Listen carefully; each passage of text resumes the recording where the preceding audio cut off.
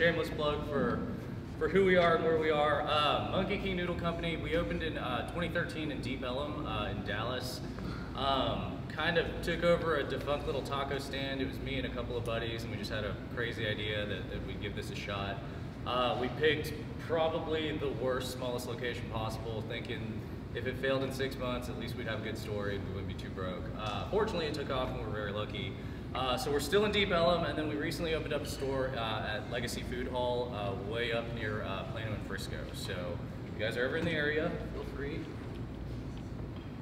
There we go.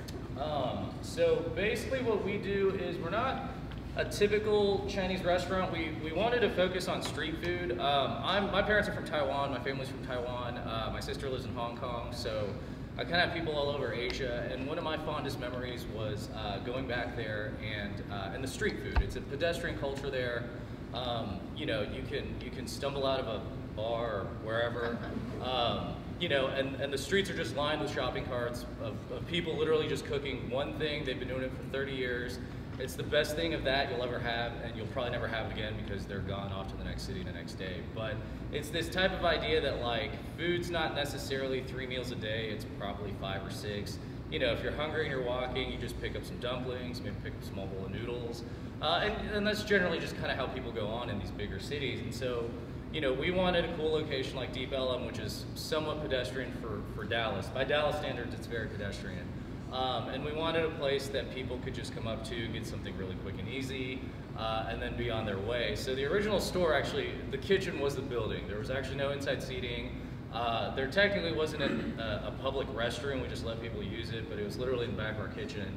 Um, and that's how we got started. So um, I had always wanted two things, like being from Taiwan, uh, the, the unofficial national dish is, is uh, beef noodle soup. So if anyone's ever had it, it's basically a beef shank that gets slow braised down. Uh, all the hard, kind of tough to eat bits get, uh, get basically braised down to this delicious texture. Um, and it's served with noodles, and there's a million variations, and everyone's grandma probably makes the best version, but you know, we, we were determined to make one good version for Dallas.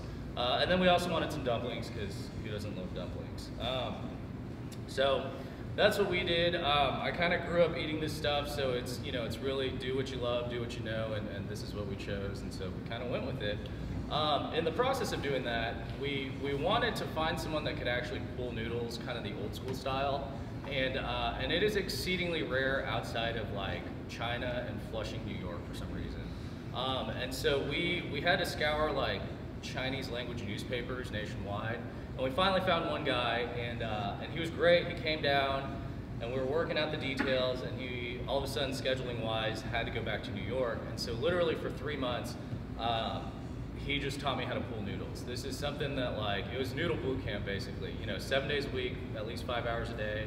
Uh, literally in my parents' kitchen, he would come over, we'd set up a little stand, and he'd kind of teach me from this is dough, this is how you hold it, mold it, to the finished product. And, um, and it's definitely something that like, I equate to like sushi chef where, you know, you can learn the basics and you can kind of get it down to where it's serviceable, but these old school masters that are like 80 years old and, and have no arthritis problems and are still hammering these things out, uh, it's pretty amazing to watch them work. And it's something that just takes time and effort and just this, you know, these little minute details that you, you don't really know until you actually dive right in and, and kind of go for it. So I'll run through kind of a quick history of noodles in China, followed by some really rudimentary science. If there's any history or science buffs here, sorry ahead of time.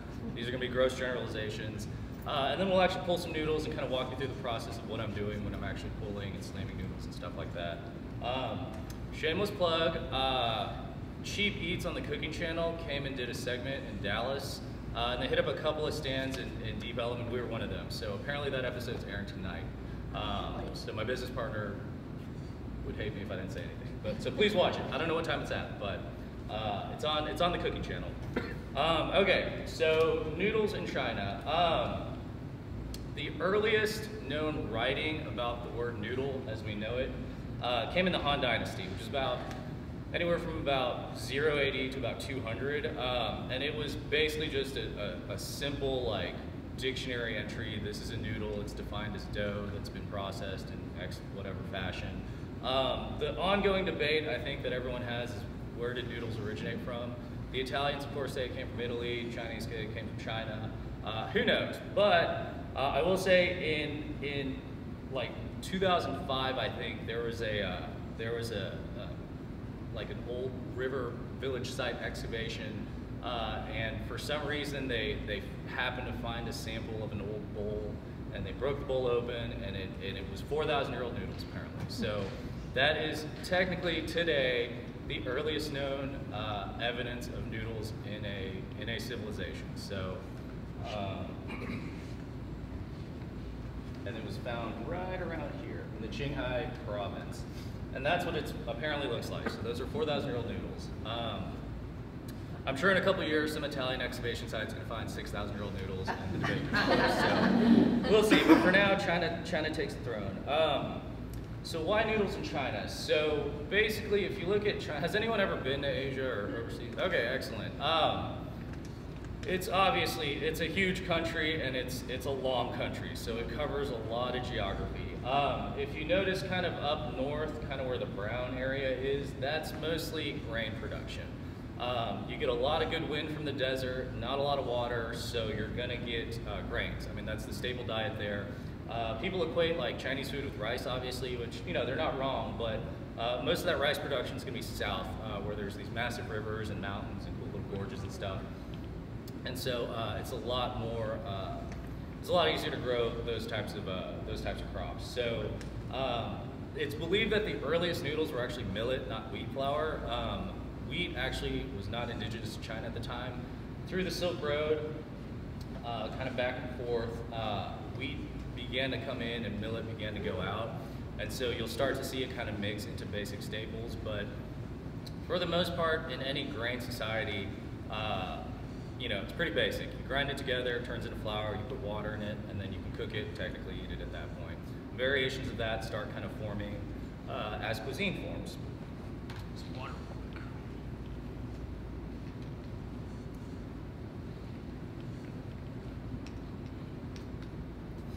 So it's pretty likely that uh, that the first noodles were, were nothing more than just like balls of dough that people either ripped by hand and threw into boiling water or kind of spread out and cut so you can start seeing these little noodle formations. Um, you know, even dumplings were defined as like noodles back then where you actually spread the dough out, wrap something in it, and throw it in a boil. The idea is that it pretty much had to be boiled or steamed at that point. Um, the type of noodle that I'm gonna be doing today is Lanzhou style. Uh, it's the stretching, the real like theatrical kind, and that actually happened in the Gansu province right there. So you can kind of tell anything along this line is uh, is pretty much grain production. That's that's noodle country right there. Um, is the capital of that particular province, and uh, it's generally believed that like essentially the water over there is higher in alkali content naturally, and so alkali, chemically speaking, helps with the noodle making process. It softens the dough a little bit, breaks down the molecules, and allows you to be able to manipulate it uh, to however you like. So it wasn't a far stretch to see how people, you know, picking water out of that well, putting it into flour, making the dough, eventually were able to start pulling it. Um, a lot of old uh, excavation sites also noted that ash was used. Uh, ash produces sodium bicarbonate, which is another alkali base that you can then, you know, further that process along. Uh, so the cool science of all this, I say it's cool because I just nerd out stuff like this, but um, most Asian noodles use alkali. So we call them alkali noodles. If you go to like any ramen shop in town now, uh, you'll notice how like the noodles are slightly yellow. Uh, that's actually a reaction, it's oxidation of the alkali. Uh, causes the dough to kind of tint a little bit yellow. Uh, doesn't mean the dough's bad, doesn't mean flour's bad or anything, it just means that's the reaction you get. Um, the reason you do alkali is it gives it kind of a, only way to describe it is like a soapier feel. It's slightly slicker, it's slightly chewier, and it's, it gives off a little bit more of a fragrance. Um, but it is also essential to be able to manipulate gluten. Um, so real quick, gluten is, uh, is the key to how we can do all of this. Uh, I know gluten's got a really bad rap nowadays, um, and I guarantee you most gluten intolerances probably just the work of marketing. But that said, we still get people with like celiacs and legit diseases that are horrendous. And, uh, and those people cannot have a single bit of gluten because it will make them sick for a while. But for the most part, all gluten is is a protein. It's what happens when these two molecules up top combine and then forms this really wicked looking protein molecule. Um, by adding alkali to that, you're essentially loosening up uh, the blue part of it to where you can kind of stretch and manipulate it. Um, really, all we're doing when we're making noodles is uh, is kind of manipulating the dough to where all those gluten particles um, basically start to form a chain, like a chain link chain. Um, so you, you know, you mix it, you twist it, you pull it, you're trying to manipulate everything to where you can kind of pull that gluten and interconnect it to where you can pull it to, you know, filament thin layers. I mean, it could be the, the thickness of a hair if you wanted it to. Um, and those are, you know, those are largely for show. You obviously can't eat those that much. But um, those are kind of the basics of, of noodle pulling and, and kind of getting, uh, getting the dough to where it is. By the way, if anybody has questions, just chime in. I talk really fast and loud. So when you're pulling, is this friction, is this pulling part of the chain making, is that also the heat? No, it's not really. Uh, in fact, like, it's it's kind of weird because people ask like, "Hey, what's the recipe?" And I'm like, I'll happily give it to anyone because there's like a set recipe used, and then there's like the environmental conditions around it. So, like, I was just telling Mark, I was like, "Hey, it's a little hot and a little humid here. Like, it's gonna affect the dough in a little bit, so you got to play around with it." So, like uh, most of the kitchens I've been in have been like really hot and humid because they're tiny and, and, not very well equipped. And so I'm kind of used to it, but like, you know, in these grand kitchens that have this amazing AC units, um, it, it'll freeze the dough up a little bit. So you kind of have to manipulate it that way. But essentially it's the stretching and the twisting that's, that's kind of loosening everything and then like rearranging, loosening, rearranging, and you just kind of manipulate it until you get it to a point where, uh, where you know, it's, it's whatever whatever thickness you want. Um, and then there's, I mean, there's a million variations of this. Um, there's no, I mean, correct way to, to get the noodles you want. Um, certain noodles you'll notice are the broad ones, like the Xi'an style, where they basically just pull it once and then kind of tear it down the middle. Uh, those are like the broader flat noodles. Um, you know, I, I think all of those just kind of kind of grew out of a necessity of the cuisine. So you know, if you're fortunate enough to have like a lot of good bone stock and broth, then you're gonna want thinner noodles. But if you need something a little heartier, then you go with the thicker. And then um, if you just can't like flatten or pull noodles, then there's a knife cut method, which if you look at videos on YouTube, it's actually really cool and I've wanted to try it, except I'm afraid we're, you know, gonna injure the staff. But they basically just take dough and take a knife and just kind of shave it off. And it's, you know, these perfect little strands that go off every time. Um, and we've tried it before just to hilarious failure, but uh, so we'll stick with this method. But um,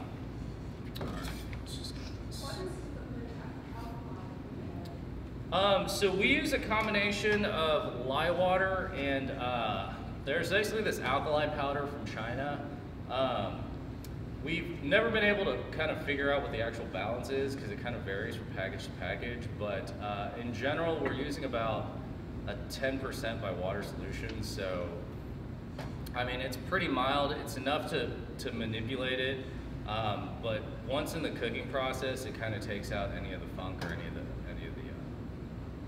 Uh, are there, uh, are there different names for the different noodles, like the broad ones, or what names? Yeah, it's it's mostly equated with regions. So like Xi'an styles, flatter typically. So if you went somewhere and you're like, oh, Xi'an style noodles, generally it'll be like a broader flat noodle. If it's like Lanzhou style, it's like the more traditional noodle that you're used yeah. to seeing.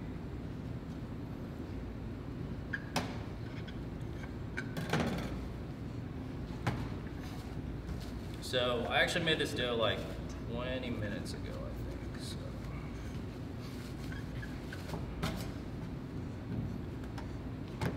So, so you can kind of see it's already got a bit of a stretch to it. Um, and you'll notice the color. I mean, I used all-purpose flour, high gluten flour, and, um, and a little bit of Korean flour. For some reason, um, and I can't explain why, and I still haven't been able to find out because I don't speak Korean, but like Korean flour is amazing and it's like the easiest thing to cook with. It, it tastes delicious. Um, the only thing I figured out is like they use American wheat. They just take it over and like do some sort of magic to it, and it comes back like twice as expensive. But like we still have to use it. Um, and we've tried like doing alternatives with like no Korean flour, and it just doesn't work the same for us. So it might be psychological on our part, but at this point we just keep going with it. Where do you get Korean flour? Uh, H Mart. Yep, there's a good old H Mart not too far from our place. So. Um, we've been lucky enough that like we have a commissary. So our dumpling production has fastly become like our largest labor pool, uh, our largest like labor intensive thing. Um, and so we actually had to. It's funny, like I don't know if anyone is familiar with Dallas, but Deep Ellum's like not the greatest of neighborhoods. Uh, we kind of picked it because me and my partners just like drinking there, and we're like, hey, this would be a great place to have food when you're drunk. But like we needed like Chinese ladies that knew how to wrap dumplings, and like none of them were gonna drive on the highway to like go to Deep Ellum of all places. And so we finally had to make a commissary kitchen up in Plano. Um, so that's like kind of fastly becoming a bigger portion of our business, which was unexpected. It's great because we do love dumplings, and if you guys ever want a dumpling class, we've we've got plenty of plenty of knowledge about that. But Well, I have, uh, I have friends who, we have the Kettle, uh, Art Gallery, so I'm an artist. oh yeah, And so I'm at the Kettle all the time, that's where I saw you. oh So excellent, they advertise, you love the kettle. Yeah. Um, so I'm just kind of getting the dough balanced right now. Um, let's get sturdy table. So slamming it basically kind of loosens everything up. It's it's getting it to where it's a lot easier to manipulate.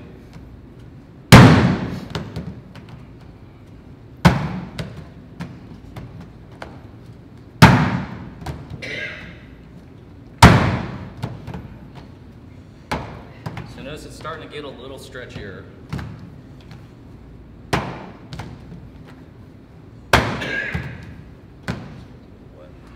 So this is just oil. That's a little bit of the alkali water solution, just to kind of keep things a little loose for me. I missed earlier, did you say how you make alkali, what you put in it to make alkali? Oh, it's a it's a powder that you can get. Most like Chinese supply stores have it. Um, a lot of people. like baking soda or anything like that? No, no, no. I've, I've heard if you, because baking soda is not terribly strong when it comes to like its alkali properties, but I heard if you like get it slightly damp and then dry it out in like a toaster oven, it, it like amplifies the effects. I've never been able to try it, but that's just something I've heard. Or you can use like basically lye water or sodium bicarbonate, which you can get at any Asian grocery store. So when I'm twisting, it's basically setting all the noodle strands together. Uh, you'll notice they're gonna start forming the more times you twist it. And so the oil is what keeps the strands separate? Uh, no, it's just because it's sticky dough right now, so it just keeps it off my hands.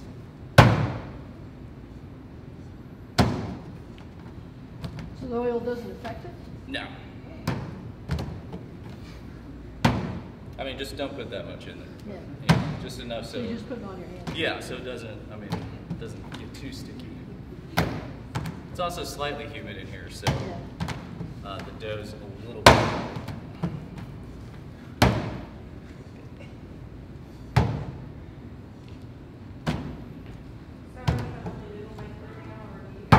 Uh, yeah, so the guy that taught me had to go back to New York, and he came back a couple of times, but uh, he's he's just kind of one of those weird free spirits. It's like, oh, I'll be here for a little bit, and then and then two days later he's gone. So I believe there's one more guy in Dallas. He used to work for Royal China, um, and I don't think he works there anymore, but I think he's floating around somewhere. Um, so we also have to do uh, basically the sheeter cutter program. So, I mean, we still make all the dough ourselves. We still handle the process. Um, but we have the big commissary kitchen that kind of mass produces for us. Just because once we got to multiple stores, it was impossible for me to. Plus, these are like super hydrated and very fresh, so you can't, like, we couldn't store these and then cook them the next day because they'd be not great.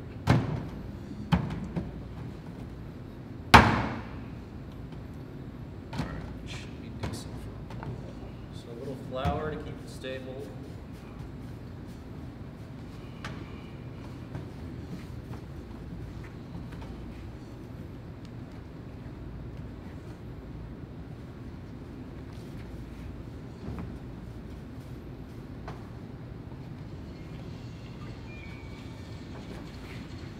Do a small batch.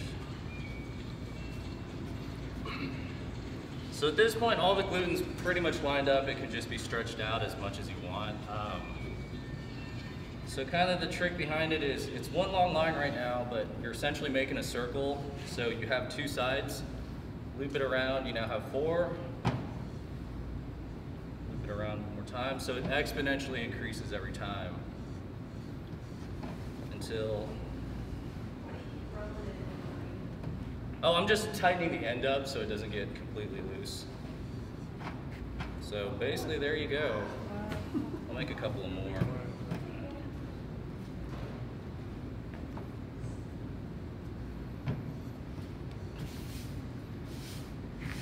Oh, so another question I always get is uh, eggs versus no eggs. Um, in Taiwan, there are a lot of restaurants that use eggs in their dough. It's not a necessity just because with like a mix of high gluten and all-purpose flour, like you get enough bite that like it'll hold.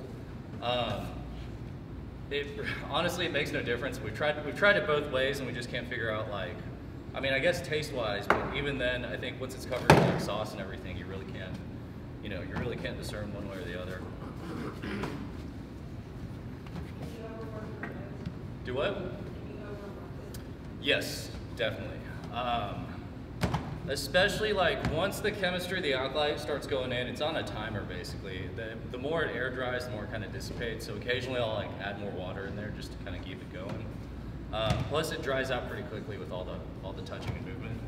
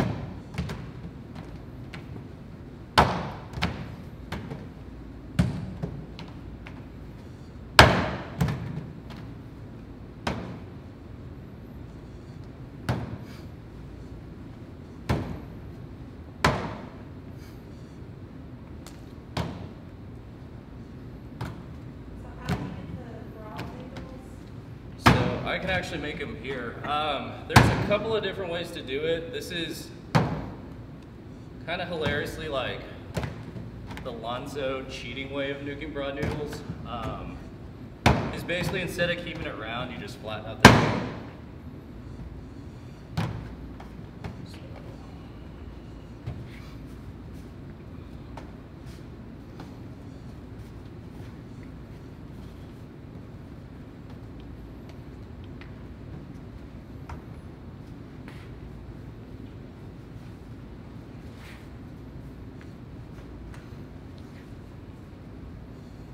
So basically just flatten.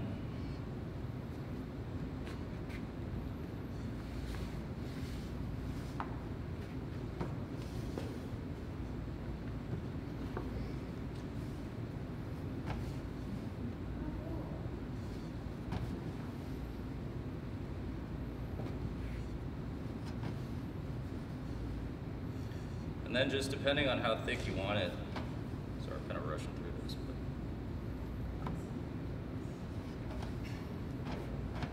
but. Yeah, so then basically flat noodles at that point.